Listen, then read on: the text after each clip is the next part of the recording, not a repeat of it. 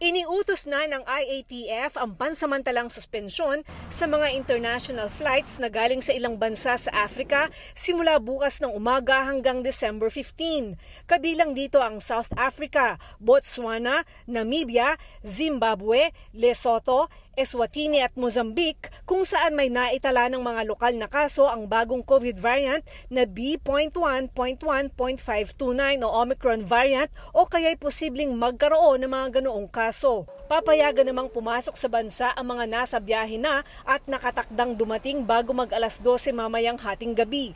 Pero kailangan nilang sumailalim sa 14-day quarantine kahit pa may negatibong resulta ng RT-PCR test. Idineklara na rin ng World Health Organization na isa ng variant of concern ng Omicron mula sa pagiging variant under monitoring.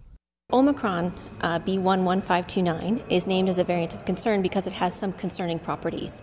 Um, this variant has a large number of mutations, and some of these mutations have some worrying characteristics. Right now, there are many studies that are underway. There's a lot of work that is ongoing in South Africa and in other countries to better characterize the variant itself in terms of transmissibility, in terms of severity, and any impact on our countermeasures. Marami ng bansa ang nag-issue ng travel restrictions gaya ng United Kingdom, Estados Unidos, Australia at Canada para makontrol ang pagpasok ng bagong variant. Ayon sa mga infectious disease experts sa Pilipinas, maaaring mas mabilis makahawa ang Omicron variant kesa sa Delta, lalo na kapag mahina ang immune system ng isang tao. Ang spike protein ay isang parte ng virus na ito yung kumakapit sa cells natin. Pag pumapasok siya sa katawan natin, hindi na siya kaagad ma-recognize dahil binago na niya. Hindi na natitrain yung immune system natin na ma-recognize siya. Pag hindi siya ma-recognize ng katawan natin, ang bilis niyang pumapasok. Ang uh, uh, reproduction number niyan, eh, two. So, isa, dalawa o tatlo. Ang hmm. Delta variant, anim. Okay. Hanggang walo. Ito? So kung nag-outcompete yan, eh, di ibig sabihin, mas matindi sa 6 and 8 ang mga hawakan niya. Siguro Aray mga ko. 10. Kukompetin pa yung tinatawag na reproduction number eh. Kaya mahalagaan nilang mas marami pa ang mabakunahan para mas maraming tao ang may laban sa sakit kahit makapasok ang Omicron variant sa bansa. Kasabay ng mga pag-aaral sa buong mundo, sabi ng DOH, nagsisimula na rin ang pag-aaral ng bagong variant dito sa Pilipinas.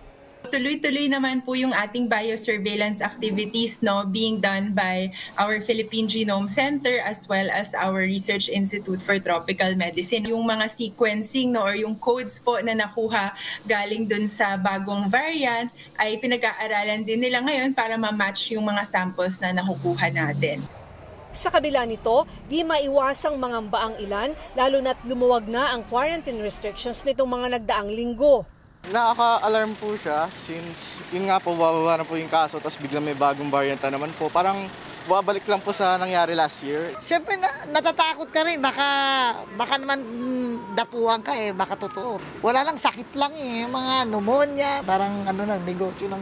It's been roughly more than a year since nag-pandemic and hindi rin at fault yung tao for wanting to go outside kasi it's very detrimental na rin sa mental health ng tao.